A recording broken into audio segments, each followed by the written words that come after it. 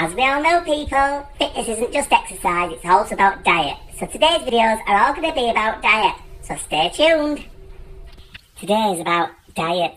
I know I smashed it yesterday with exercise, but you've got to do a bit of both. Bit of diet, bit of exercise, but don't overdo it, that's what I say. As any fitness guru will tell you, you've got to drink plenty of water. It's really good for you.